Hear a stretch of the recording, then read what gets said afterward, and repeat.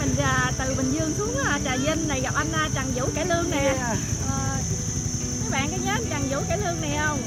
Rồi hôm nay anh Vũ sẽ làm hướng dẫn viên du lịch để dẫn mình đi tham quan ao bờ Trà Vinh nha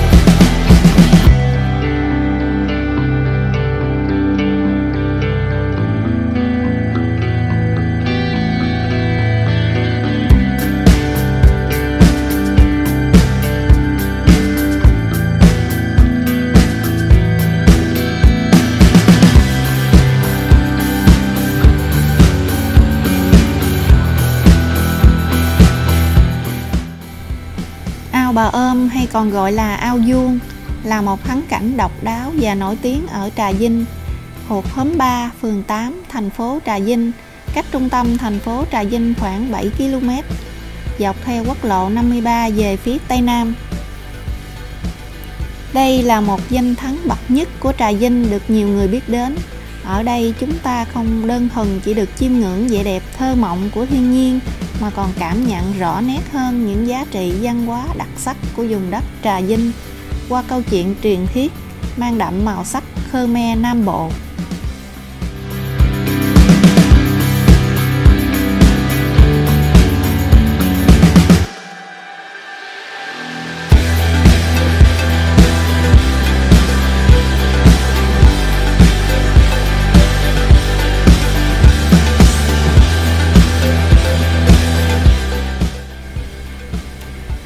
Cảm giác lần đầu tiên tới thăm ao bà ôm là sự mát mẻ trước cảnh trời nước xanh biếc một màu. Hai hàng cây phía ngoài sát cạnh ao cách nhau một khoảng rộng, tạo thành con đường rợp bóng. Cây lá dưới nước xanh rờn cho chúng ta cảm giác rất thanh bình và yên ả.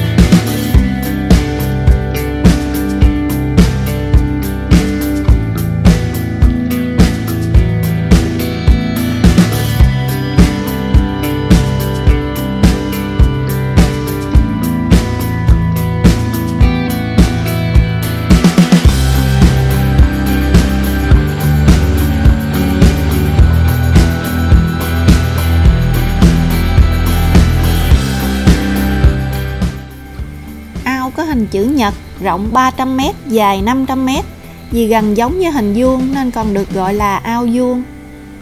Ao được bao quanh bởi các gò cát mấp mô với hàng cây sao, cây dầu cổ thụ lên đến hàng trăm tuổi. Có rễ nổi lên khỏi mặt đất Tạo nên những hình thù kỳ lạ. Người đời sau đã đưa ra nhiều giả thiết để giải thích về tên gọi của địa danh này.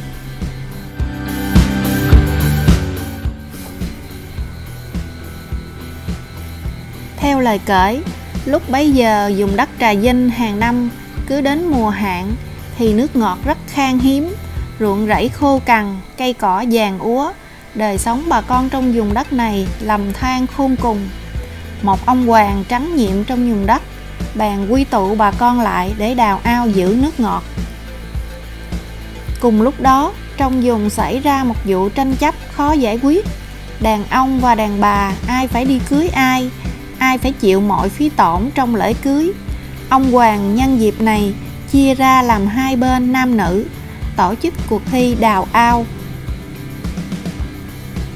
Ao bên nào đào sâu hơn lớn hơn và xong trước sẽ thắng cuộc bên thua cuộc sẽ phải đi cưới trời vừa tắt nắng hai bên chia nhau đào ao bên nam thì đào ao tròn ở phía tây còn bên nữ thì đào ao vuông ở phía đông. Bên nữ do bà ôm, một người phụ nữ khmer chỉ huy. Thấy không khởi kình được với sức đàn ông. Bên nữ bèn dùng kế. Họ vừa đào vừa ca múa để các chàng trai bỏ việc mà chạy sang rình xem. Nửa đêm, bà ôm cho chặt một cây tre thật dài, treo ngọn đèn lồng, rồi đem cắm ở hướng đông theo giao hạn thì khi sau mai mọc là phải ngừng công việc. Khi bên nam thấy ngọn đèn, tưởng là sau mai nên họ rủ nhau về nghỉ. Trong lúc đó, bên nữ đào đến sáng và xong việc trước. Bên nam thua cuộc trong sự tâm phục, khẩu phục. Và từ đó là tục lệ, người nam phải đi cưới người nữ.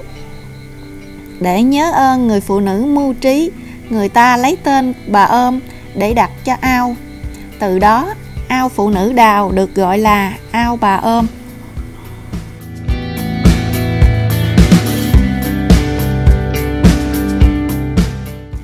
Sau những ngày làm việc mệt nhọc hay giữa bộn bề phố thị, chúng ta sẽ được trải nghiệm cảm giác thanh bình, yên ả khi đến tham quan thắng cảnh ao bà ôm. Để ngắm nhìn hàng trăm cây cổ thụ tỏ bóng mát bên bờ hồ nước rộng lớn, trong đó có những cây cổ thụ rễ trồi lên khỏi mặt đất, tạo nên bức tranh đặc biệt mà tạo hóa đã ban tặng cho thắng cảnh này.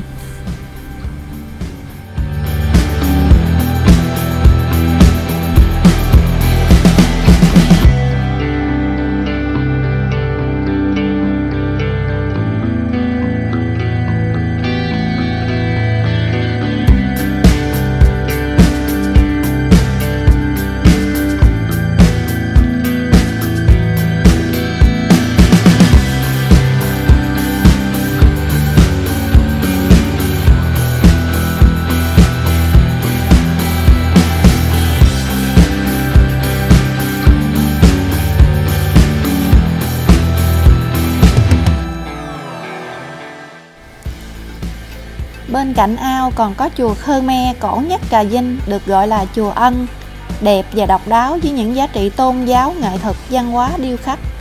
Được Bộ Văn hóa Thông tin công nhận là di tích lịch sử văn hóa cấp quốc gia.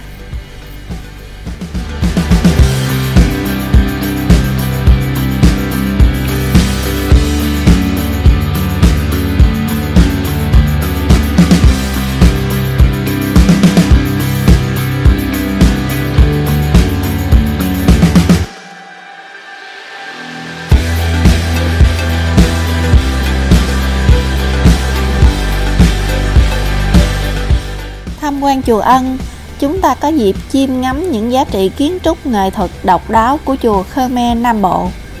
Với sự di hợp một cách khéo léo cả ba yếu tố, văn hóa, bản địa, bà la môn, Phật giáo.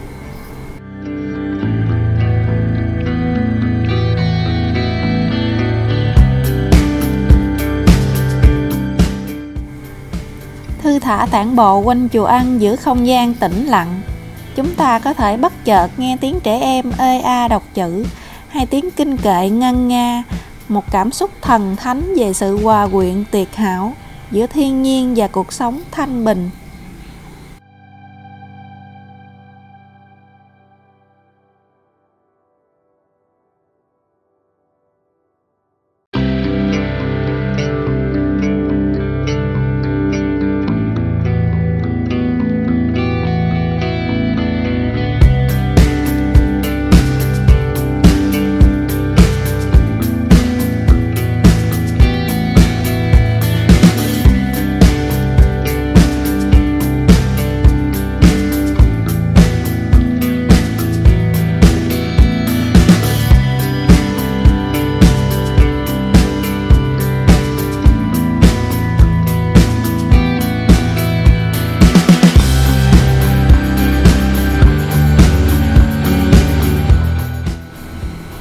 Cảm ơn quý anh chị và các bạn đã xem video. Hãy bấm đăng ký, nhấn chuông để cập nhật những video mới nhất.